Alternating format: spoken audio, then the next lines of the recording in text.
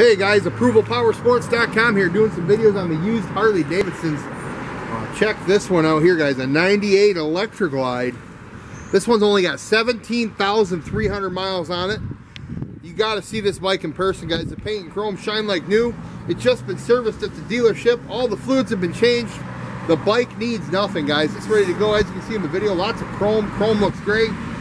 You got the whale tail exhaust.